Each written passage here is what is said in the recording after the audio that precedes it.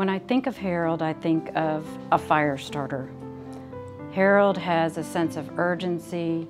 He's all about teamwork, continuous change. Um, he's an initiator, he motivates.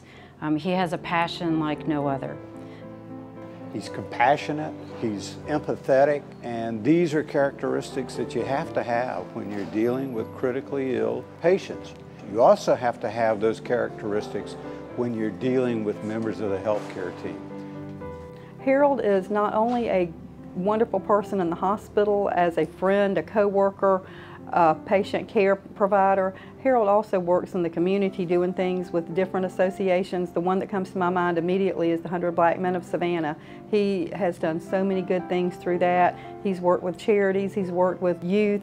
He's had a group of young people come through our department. We were able to talk to them and tell them things that we did and hopefully that'll make a little impact in their lives.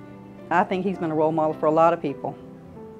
The 100 chapter of, of, Savannah has a health and wellness component. Our goal is to improve the quality of life uh, as it relates to uh, debilitating diseases that affect primarily African American families. Harold has been just tremendous in leading that effort. He has taken the charge. Uh, he's been involved in, in several programs in getting uh, our message out uh, to our youth as well as to families. If you know Harold, and then you know he, he is a people's person, has tremendous people skills. And that's what children, children want and they need. They need role models, they need people who care, people who know how to help them get to where they need to be. I think one of his most endearing qualities is his ability to connect to people and connect to children. As a person, uh, I would say two words, uh, dependable the ultimate of dependability. Uh, if Harold says it's going to be done, you can count on it. You don't have to worry about it.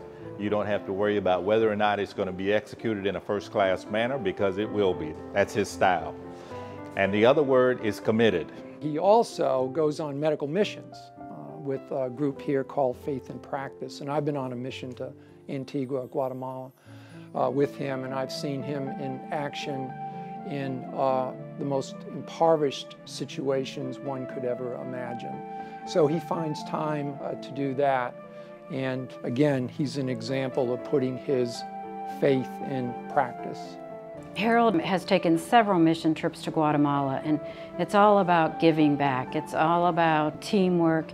It's all about doing for others. That is so much him because uh, he just, just, just always looks for opportunities to provide for his staff, provide for his patients, prioritize patients as number one. And as a magnet hospital, it's about excellence in nursing care. But Harold is our partner. He's our complement to the best care that our patients receive. I'd like to thank my coworkers here at St. Joseph Candler Health System for giving me the opportunity to work with a wonderful group of people that makes it easy for me to receive this award. Being a faith-based health system allows us to do a, a, number of things that are very productive in our community. St. Joseph Candler Health System has aided us in providing support for community activities that we do with the 100 Black Men of Savannah, also with the Youth Futures Authority here in Savannah, and several of the other organizations that we work for. So on behalf of my wife, my family, my coworkers, and the many people that work with me in the community, I would humbly accept this award and thank you for your time.